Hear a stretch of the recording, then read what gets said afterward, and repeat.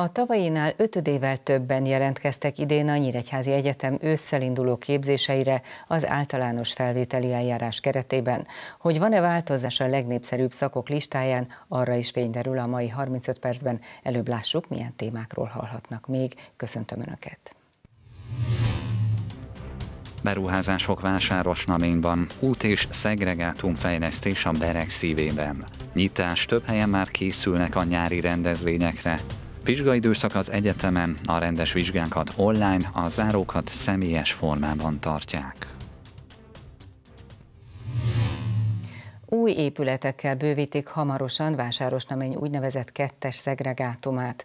A városban közlekedési beruházások is megvalósulnak a Magyar Közút jóvoltából, emellett a tervek szerint az egyik iskolát is korszerűsítik a közeljövőben.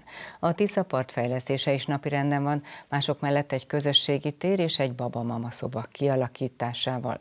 Köszöntöm a stúdióban Filip Sándort, Vásárosnamény polgármesterét. Jó estét kívánok! Jó estét kívánok! Köszöntöm a Kölcsei Televízió nézőit! Kezdjük talán azzal, hogy tulajdonképpen mit is takar ez a kettes szegregátum megnevezés, és miért szorult fejlesztésre? Mondhatnánk azt is, hogy ez egy érzékeny kérdés, ugyanakkor nem az, hiszen Vásárosnaményban mindig is odafigyeltünk a cigányságra, a lemaradó rétegeknek a, a fölzárkóztatására, valamikor tanárként, igazgatóként is kiemelt figyelmet fordítottam arra, hogy a cigány gyermekeink tudjanak beilleszkedni az iskolai életbe, ugyanezt tesszük a városlakókkal is, épp ezért szeretnénk azt elérni, hogy ahol a cigányság által sűrűbben lakott városrészünk található, gondolok itt a Sport utca, Kraszna utca, Ötvös utca, Széchenyi utca részekre, ezt a területet is próbáljuk megfejleszteni.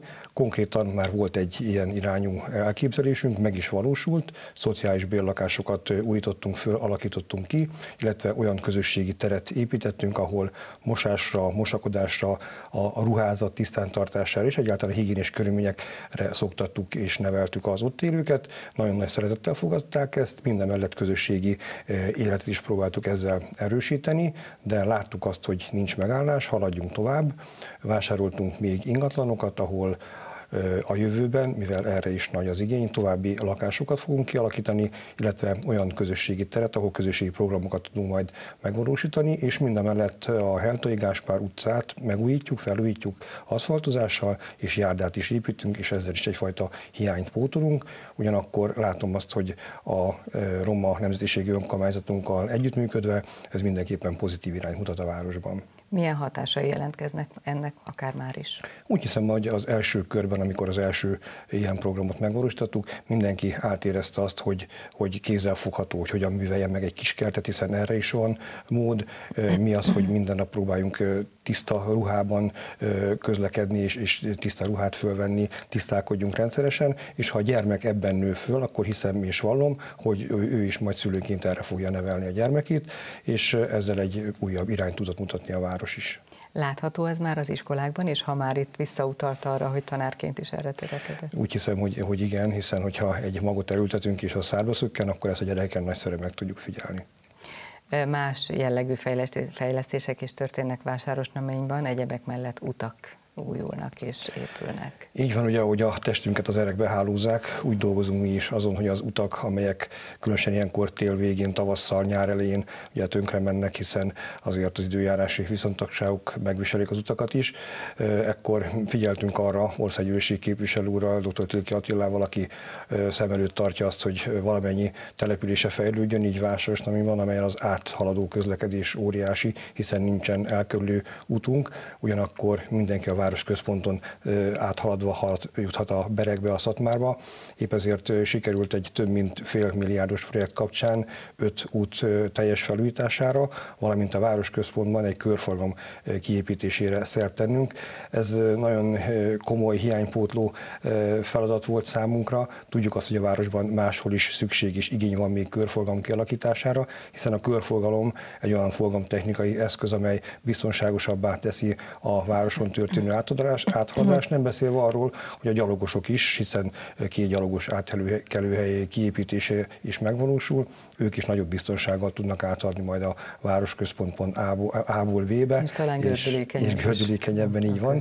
Ugyanakkor már elnézést szeretnénk kérni mindenkitől a városvezetés nevében, hiszen egy építkezés mindig gonddal jár, egy építkezés mindig türelmetlenséget és kényelmetlenséget szül, de minden folyamat egyszer véget ér, és az építkezés után remélem, hogy a nyár végére mindenki örömmel használhatja majd az új körforgalmat, és a teljesen megújult Kossuth, Rákóczi utat, valamint a Radnóti utat, a Költségutat és az Árpád utat is, mert ezek olyan szerepet töltenek be a városban, melyeken a legnagyobb a forgalom. Picit már érintettük az iskolát is a szegregátum kapcsán. Lesz iskola felújítás is, vagy talán már el is indult? Így van, a Szabolcs-Szatmár Bereg megyei közgyűlés rendszeresen odafigyel arra, hogy a települések a terület és településfejlesztési operatív programokból energetikai felújításokat is tudjanak végrehajtani. Vásárosnaiban több intézmény megújult már, gondolok itt a második Rákóczi Ferenc gimnáziumra, az Ötvös József általános iskolára, óvodáinkra. Ugyanakkor most sikerült egy újabb sikeres és eredményes pályázattal a Ötvös József általános iskola vitkai tagintézményt, a kölcsei tagintézményt teljesen felújítani energetikai szempontból. Nagyon fontos volt, hiszen a régi épületben új nyílászárók kerültek, kerülhetnek beépítésre, teljes hűszigetelés valósul meg, valamint talajszondás hűszivattyút építünk be. Város nem zöld város, tehát nagyon figyelünk arra, hogy energiahatékony módon környezetünket kímélve tudjuk ezeket a felújításokat elvégezni, és napelemes rendszer csak azért nem épül már a Vitkai általános iskolánkra, mert a tankerület egy korábbi sikeres pályázatából már ezt megvalósította, és ebből is látszik az, hogy a város és a tankerület is igyekszik összefogni azért, hogy gyermekeink olyan épületekben tudjanak tanulni, amelyek nem csak egészségesek, hanem energiahatékonyak is. És hogy mindez egy iskola keretében zajlik, ez megint csak a gyerekek szempontjából is, és a jövő szempontjából Igen. nagyon fontos. Igen. Milyen összegből valósul meg ez a beruházás? Ez a projekt több mint 230 millió forintos beruházás, de úgy hiszem, hogy a vitkai település rész már igen-igen kiérdemelte ezt a fejlesztést, hiszen nem csak Vásárosnaminból, a vitkai település részről, hanem több kisebb településről, és a Perényi tanyáról is ide járnak be a gyermekeink, mint egy 170-180 tanulóról beszélünk itt. Nagyon odafigyeltünk arra, hogy hogy egy korábbi fejlesztésből a tornatermet tudjuk rendbe tenni, illetve egy nagyon komoly műanyagborítású kézlabda, gyakorló kézlabdapályát is kapott az iskola, hiszen elég komoly itt az intézményben a, a sport iránti szeretet és igény. A Kisvárdai kézlabda klubnak vagyunk egyébként fiúk csapata a Vitkai Esével, és itt a gyermekek már 7 éves kortól ismerkedhetnek meg ezzel a csodálatos sportággal is. Kellett ehhez saját erő és a város részéről? Szerencsére a topos pályázatokhoz nem kellett ön, önerőt biztosítanunk. Megjegyzem, ez most már igen nehéz is lenne, hiszen e, tudjuk azt, hogy a legjobb az a pályázat, amihez nem kell külön önerőt biztosítani, hanem oda kell figyelnünk annak, annak a folyamatnak a teljes egészére, amely, amely tükrében pontosan is és úgy valósul meg egy beruházás, ahogy azt mi is elvárnánk. Erős kérdőjelekkel indult ez a nyár vagy indul ez a nyár, viszont a fejlesztések a Tiszaparton is beindulnak. Így van, a Vásárosnamény a berek szíve is, hogyha elmondtam, akkor máskor elmondtam, most is elmondom, hisz négy folyóvárosa vagyunk, közigazgatási határunkon belül Túr, Kraszna, Szamos és Tisza minden örömével és minden felelősségével, hiszen tudjuk azt, hogy amikor szennyeződés van, akkor először mindig vásárosnaményról hallunk, és tudjuk azt, hogy itt bizony egy nagyon komoly hulladéklerakó is beépítésre került a Feti vízig és a katasztrófavédelem által, ugyanakkor közeledik a nyár. Több projektünk van folyamatban, mint egy 300 milliós nagyságrendben sikerült turisztikai programokra forrást szereznünk, illetve több kisebb egységből szeretnénk a Tiszaparton egy új irányt szabni. És ez, ez is önerőmentes? Igen, igen.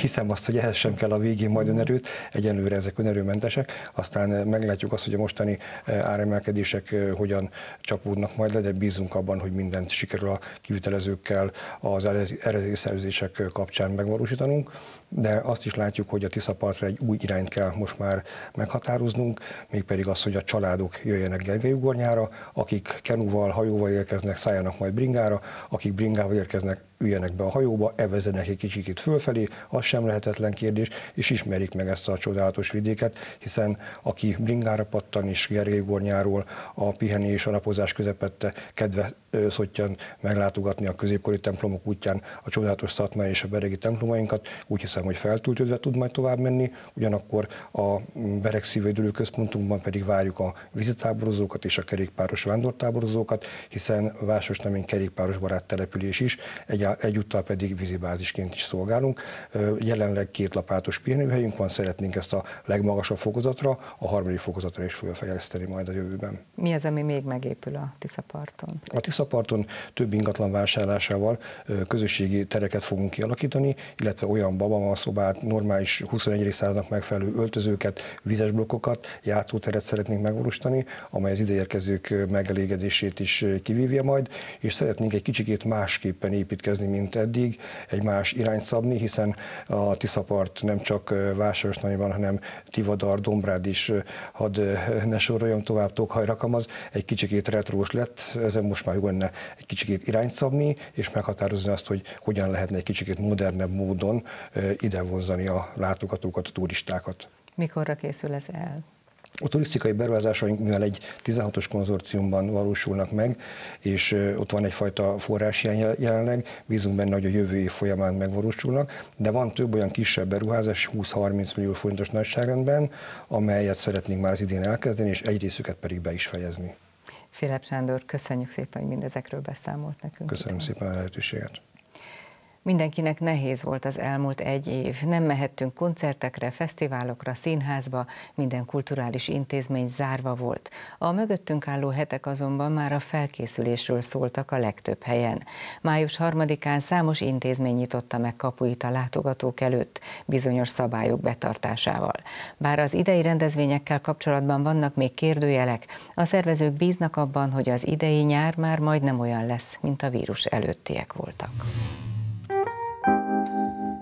Az elmúlt hónapokban mindenki várt. A szervezők arra, hogy rendezvényeket hozhassanak létre, a látogatók pedig arra, hogy beléphessenek a kulturális intézményekbe. Például a Nyíregyházi Váci Mihály Kulturális Központba. A központi épületünk, illetve a tagintézményeink többsége is kinyitott. Kettő azért nem, mert a Borbánya, illetve a Városmajor felújítás alatt áll, tehát oda nem tudnak jönni a látogatóink viszont az egy közös pont, hogy mindenhova csak védettségigazolványjal lehet bejönni, és nagyon fontos azt is kihangsúlyoznom, hogy 18 éven aluli fiatalkorú se tudja látogatni csak felnőtt védettségi kártyával hozzánk betérő felnőtt kíséretében tud az intézményeinkben ellátogatni. A Krudila artmozinkat 6-án csütörtökön nyitjuk, ugyanezek a feltételek állnak, oda is fiatalkorú önmagába nem jöhet, csak felnőttkorú védettséget igazoló kártyával rendelkező kísérővel, és mindenütt gondoskodtunk fertőtlenítőről, a tisztántartásról, úgyhogy, ahogy fogalmazott, igen, fokozatosan várjuk a látogatókat. Azt tudom elmondani, hogy először a kis csoportjainkat várjuk vissza, akik vissza tudnak jönni, tehát ezek felmérése van folyamatban, megkérdezzük őket, hogy ki szeretne, és ugye a védettségi igazolás, igazolvány kapcsán, hogy ki tud visszajönni, és őket folyamatosan visszaengedjük természetesen az intézményeinkbe. Nagyon nagy rendezvényben májusban még nem nagyon gondolkozunk. Ha röviden össze lehet foglalni, mennyire válták a nyitást? Én is, meg munkatársam egyébként majd pont egy összmunkatársi értekezlettel kezdtünk. Nagyon várjuk, ugye már most is több hónapja nem tudtunk azzal foglalkozni, ami a szakmánk, amiért idejöttünk dolgozni.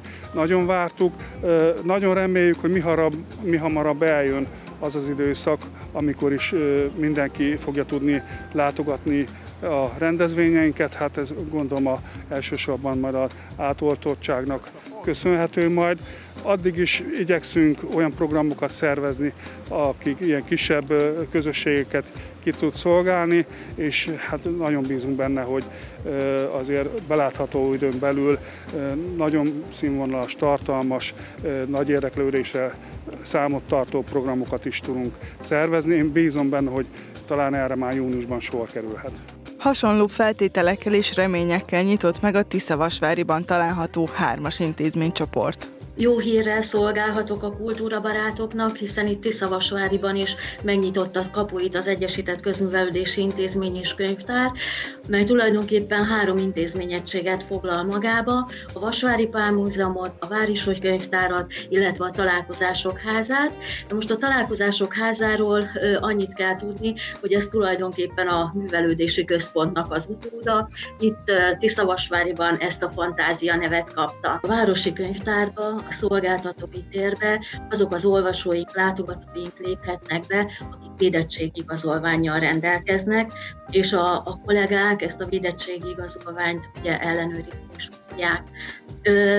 Tehát azok az olvasók, használók, akik védettségigazolványjal rendelkeznek, azok kölcsönözhetnek könyveket, folyóiratokat, a dokumentumokat helyben használhatják, lehetőség van a fénymásolásra, a szkennelésre, illetve lehetőség van az internet nyújtotta lehetőségeknek a, a használatára is, de itt egy kis időkorlátot vezettünk be, mert eddig ugye fél óra állt az olvasóik rendelkezésére, most ezt az időt egy picit rövidítjük, és 15 perc áll olvasóink rendelkezésére, hogy az internet részlegünket is használhatják. Egyelőre könyvtári szolgáltatások közül a rendezvények azok, amelyeket még személyes jelenléten alapuló rendezvényeket nem vehetik igénybe, tehát író-olvasó találkozó, aztán könyvtári óra, foglalkozás egyenlőre még belátható időn belül nem lesz, de a hónap második felére, végére gyermeknaphoz kapcsolódóan már könyvtári rendezvényekben is gondolkodunk. Vasvári Pál Múzeum munkatársai is már várták a nyitást, hiszen átalakult egy kicsit a Kálvin úti épületünk, visszakerült a Vasvári Pál emlékszoba ebbe az épületbe, tehát én úgy gondolom, hogy a látogatók számára ez vonzó lehet, és bízok benne, hogy minél többen fel fogják majd keresni a megújult kiállítási anyagot, és amellett, hogy kiállítások voltak, online programok voltak, de én úgy gondolom, hogy a, a személyes látogatás az, az mindenféleképpen fontos a múzeum épületében, tehát szeretettel várjuk a látogatókat, egyenlőre egyéni látogatókat, a csoportos látogatási igény pedig előre egyeztetett időpontban tudjuk majd fogadni a csoportokat. A Máté Szalkai Szentpéteri Zsigmond Kulturális Központ és Színház is rendszeresen készül különböző programokkal, de az elmúlt néhány hónap náluk is csendesen telt. Alig vártuk, hogy kinyithassuk a közönség előtt a kultúra kapuit. A feltételeket illetően nyilván a mindenkori járványügyi szabályokat be fogjuk tartani. Tehát ebben a pillanatban ez azt jelenti, hogy védettségi igazolványjal lehet a beltéri rendezvényeken részt venni. A jövőt illetően természetesen arra vágyunk, hogy minél hamarabb normális kerékvágásba tudjuk folytatni az életünket. Első körben úgy vélem, hogy a szabadtéri programokra kellene a hangsúlyt fektetni, hiszen ott kevesebb a valószínűsége, hogy megfertőződjön valaki. Szabadtéri programoknál természetesen nem a nagy több ezre éves rendezvényeket, fesztiválokat gondolom, hanem pár százas kisebb színházi, táncművészeti, egyéb előadásokat.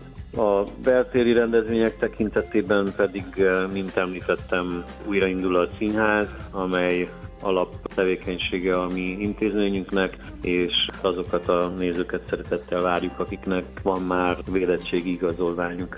Ha Nyírbátorban szeretnénk részt venni idén-nyáron valamelyik nagyszabású programon, akkor is szükség lesz a védettségi igazolványra folyamatosan készültünk, tehát nekem az volt a filozófiám, hogy ha túl vagyunk és biztonságban meg lehet rendezni ilyen programokat, nagyon fontos, hogy a város felkészült és kellő időben előkészülve várja ezeket a lehetőségeket. Azért is, mert nyilván ez a vírus nem csak gazdasági, meg társadalmi, meg egészségügyi szempontból volt nagyon nagyon nehéz és nagyon káros, hanem azért szociológiailag is, tehát itt a társadalmi életünk, a szórakozásunk, az egymással való találkozási lehetőséget, a kikapcsolás az, az nagyon sok ponton okozott nehézséget az embereknek, depresszió, bezártság és a többi. És azért fontos volt, hogy ha nyáron elérünk odáig, hogy nyitni tudjunk, akkor felkészültek legyünk. Nagyon sok színes programmal várjuk a nyírbátoriakat, koncertek lesznek, a Kowalski, Well Hello-tól kezdve, nagyon sok olyan program van már leszerződve, retro napok, a különböző bevett a zenei napok programsorozat is folytatódik már megint ebben az évben, ugye tavaly el kellett, hogy maradjon, a lovas napoktól kezdve valamennyi olyan programot és fesztivált, ami, amit össze lehetett rakni, amit biztonsággal elő lehetett készíteni, azt megszerveztük, rengeteg klubkoncert lesz, korzó lesz a, a, a, a városban, tehát úgy, úgy, úgy fogalmazok, hogy amikortól tudunk a nyáron nyitni, szinte minden héten és hétvégén színes kulturális programok lesznek a városban, mert, egy, mert a feltöltődésre, az embereknek egy ilyen irányú feltöltődésre is azt mondom nagyon nagy szükség van. Ma még ugye nem tudjuk, hogy a zenés táncos rendezvényeknek milyen feltételei lesznek, hiszen ez ma még nem lehetséges. A Benti térben megrendezett kulturális központban például megrendezett színházi előadások, musicalek, koncertek, azok a jelenlegi szabályok szerint ugye oltási igazolványjal látogathatóak. Buzdítunk is minden közösségi médián, óriás plakáton az embereket arra, hogyha részt szeretnének venni a városi kulturális programokban, akkor az a legbiztonságosabb, hogyha oltatják magukat, és rendelkezni fognak oltási igazolványa. Mi arra készülünk, hogy a, a városi rendezvények is ö, könnyen lehet, hogy csak ellenőrzött oltási igazolványa rendelkezők számára lesz elérhető. Ha ez így lesz, akkor fontos, hogy annak, annak ellenére, hogy egy rendezvény például ingyenes, könnyen lehet, hogy az oltási igazolványt ellenőriznünk kell majd, és csak az vehet részt egy ingyenes kulturális programon is, aki oltási igazolványon rendelkezik. Ez a hely színválasztás szempontjából is fontos, hiszen olyan helyszíneket próbálunk valamennyi ilyen rendezvény számára kiválasztani, ami, ami egy ilyen beléptető rendszerrel koordinálható, hogy mennyien vannak bent és kik vannak bent. Úgyhogy ilyen szempontból fontos volt végig gondolnunk a nyarunkat, hiszen Nyilván Európa-bajnokság lesz, futball-Európa-bajnokság, olimpia, van olimpikonunk, ugye Nyírbátornak olimpikona is van, és ezért ezt egy ilyen közösségi dologba szeretnénk, hogy megvalósuljon Nyírbátorban, de ezt is csak olyan helyszínen tudjuk megvalósítani, ahol egyébként ellenőrzött körülmények között tudjuk kibeengedni az embereket, mert hogyha a kormányrendelet ezt így fogja szabályozni, akkor nekünk ezt kutya kötelességünk betartani. Tehát próbálunk előre gondolkodni, és figyelni, hogy a szabályok milyen irányba mennek, és ezeknek a szabályoknak a betartása mellett természetesen azt szeretnénk, hogy minél többen, minél több programhoz hozzáférjenek. Hamarosan a Nyíregyházi Egyetemen is megkezdődik az évvégi vizsgai időszak. A felsőoktatási intézményben nemrég már döntés is született arról, milyen formában adjanak számot tudásukról a hallgatók. Van olyan szak, ahol meghosszabbodik a fél év az elmaradt kötelező gyakorlatok teljesítése miatt. Köszöntöm a stúdióban dr. Minyak Károlyt, a Nyíregyházi Egyetem oktatási rektor helyettesét. Jó estét kívánok! Jó estét kívánok, én is köszöntöm a kedves nézőket! Elég nagy izgalommal várták a hallgatók, gondolom, hogy hogyan is kell majd számot adni a tudásukról, bár azok, akik köztes évfolyamokban ö, tanulnak, ők azért már régóta tudják, hogy hogyan is fog ez történni. Milyen döntés született most? Igen, nagyon friss a döntés, hiszen először kaptunk egy olyan tájékoztatást a fenntartó minisztériumtól, hogy a tanév ideje meghosszabbítható. Tehát ez akkor a törvény szerint változott erre a fél évre, és ebből következően augusztus végén is lesz záróvizsga, illetve záró szigorlat. A záróvizsga éppen például a repülőmérnöki szakos hallgatóknak, hiszen nekik nem lehet, hogy egy részét teljesítik a gyakorlatnak, nekik az adott óraszámot le kell repülniük, és ezután vághatnak neki a záróvizsgának. Ugyanakkor a testnevelés szakon vannak olyan gyakorlati jellegű tárgyak, gondoljunk az úszásra, hát ugye az nagyon nehéz sajátítani elméletben csupán. Volt van elmélet. Igen, igen, bár van elméleti része, de a gyakorlat is, és akkor számukra pedig a záró szigorlat lesz később, hiszen ezután tanárszakosokról beszélünk többek között, ők mehetnek az úgynevezett egy, egyéves összefüggő tanítási gyakorlatra. Egyéb ez... szakokon gondot okozott a gyakorlat teljesítése? Megpróbáltuk úgy megoldani, hogy részben a valóban teljesítették az óvodapedagógusok, tanítók esetében, illetve ott is online formát, módszert alkalmaztak, hiszen a tanárok, tanítók egyébként is így tanítottak, és így kapcsolódhattak be. Ugyanakkor a vizsgaidőszakot illetően pedig valóban múlt héten érkezett pénteken, csütörtökön a fenntartó tájékoztatás, hogy a rektorok kezébe adja a döntést. Nos, nálunk az egyetem vezetése úgy döntött a vizsgaidőszakot illetően, ami el is hangzott, hogy a záró szigorlatokat és a záró vizsgákat a személyes jelenléti formában fogjuk megtartani, míg a normál vizsgákat nevezzük így online formában.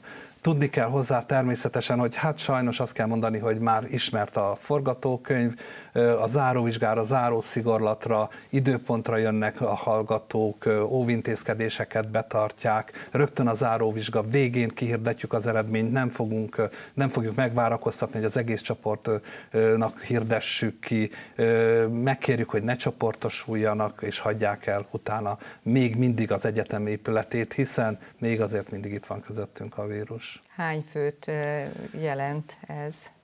Pontosan szám szerint nem tudom, de olyan 3-400 fő szokott ö, záró vizsgázni, vagy 500.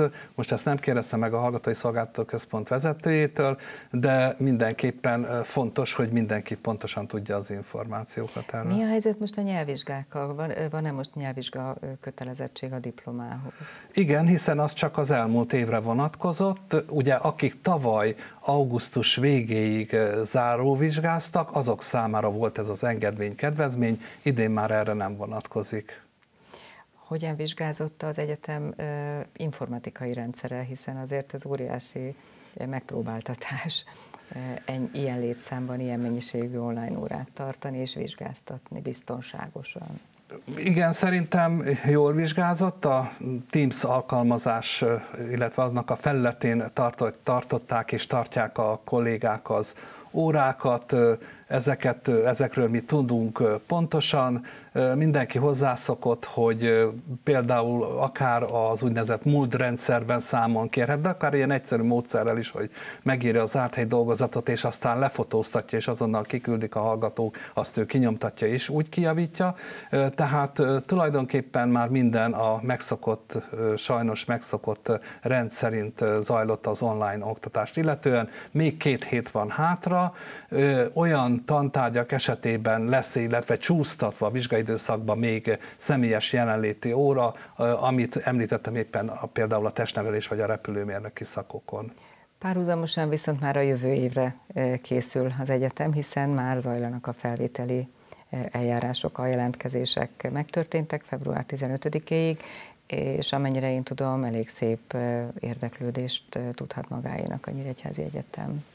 Igen, a tavalyihoz képest, hiszen tavaly derült ki, hogy a csecsemő óvodapedagógus és más szakokon is kell emelt szintű érettségi. Ott valóban volt egy visszaesés, pedig minden jelentkező tudhatta. Azonban most örömünkre szolgál, hogy emelkedésről számolhatunk be, olyan 20%-kal emelkedett, még pontosabban a 4107 volt az összes jelentkező száma, és 1257 fő volt az első helyes jelentkezők száma. Az az igazság, hogy ez inkább a mérvadó és a mutató számunkra.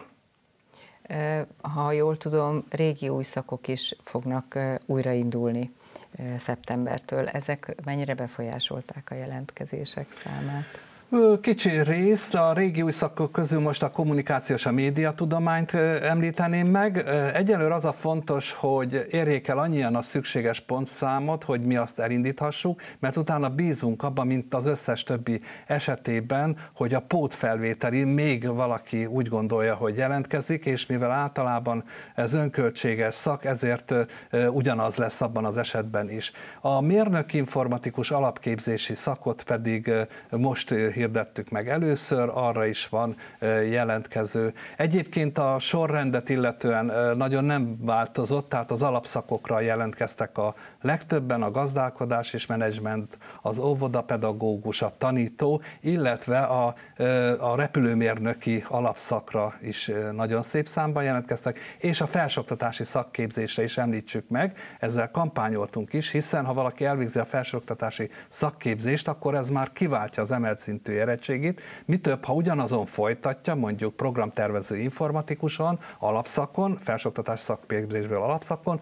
akkor nagyon sok tantárgyat beszámítathat, és ezáltal lerövidülhet egy esetleg két fél évvel is a képzési idő. Magyarul vannak olyan felsőoktatási szakképzések, amik nem igényelnek diplomát, hanem érettségi után lehet jelentkezni. Így van, csak érettségizni kell, jelentkezhet felsőoktatási szakképzésre, és az az érdekes, hogy nálunk bármilyen felsőoktatási szakképzést elfogadunk nem csak az adott szak, szak, szak továbbításában, hanem bármilyen szakra a továbbtanulás. Csak akkor nem tudjuk beszámítani az ott végzett tantárgyaknak csak egy kis részét esetleg. Ez már a tavalyi évben is így volt? Ö, nem, ez új, ez az idéntől van így. Látszik már ez a jelentkezésekben, vagy ezekre majd később lehet beadni? Hát a, valamivel a nőtt, főleg a levelezős felsoktatási szakképzésben. Nagyon örülünk, hogy emelkedett a mezőgazdaság és a mérnöki felsoktatási szakképzés, illetve az alapképzés és a jelentkezés, mert ott sajnos tavaly nagy visszaesés volt tapasztalható. Minek tudhatjuk be az, az érdeklődés emelkedését vagy növekedését?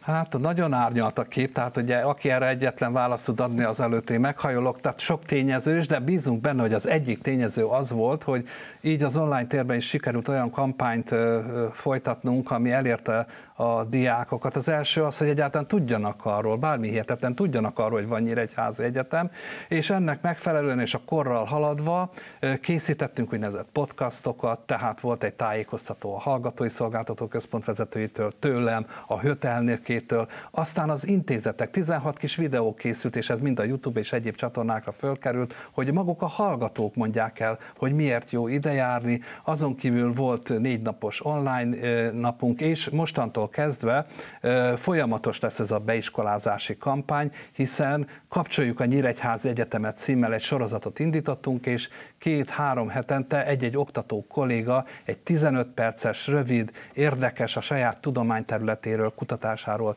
tart előadást. Tehát ez egy közvetett forma, és egyébként persze látszik, hogy ez a Nyíregyházi Egyetemről szól. Hogyan készülnek a jövő évi tanévre, a szeptemberi tanévre? online, offline, személyes, hibrid?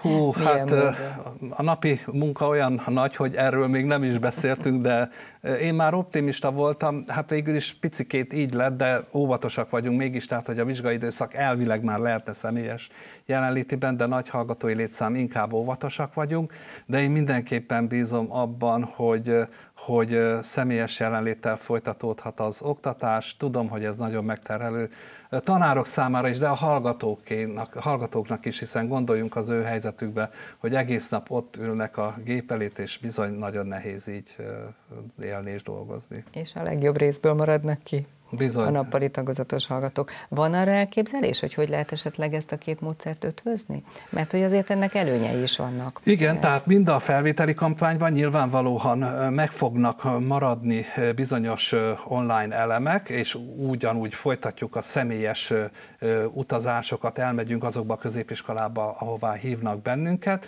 de nagy valószínűséggel valamilyen formában, ezt még erről még nem beszéltünk, de biztos vagyok benne, hogy az online oktatás elemei, illetve bizonyos szakirányú továbbképzéseken, ahová kifejezetten, hogy, így van, ezt kifejezetten úgy nevezzük, hogy levelező, mondjuk úgy, akik már végeztek, diplomával rendelkeznek, munkával, dolgoznak, és akkor egy bizonyos részét a turizmus vendéglátásán például, már van is erre példa, azt valóban az elméleti órákat nyugodtan meg lehet tartani online formában, és nem kell állandóan beutazniuk. Reméljük majd erről fogunk tudni beszámolni szeptemberben. Dr. Minyak Károly tanár úr, köszönjük, hogy befáradt hozzánk ma. Én is köszönöm szépen. 35 perc műsorunkat látták, nézzenek hétfőn is bennünket. Köszönöm figyelmüket, viszontlátásra!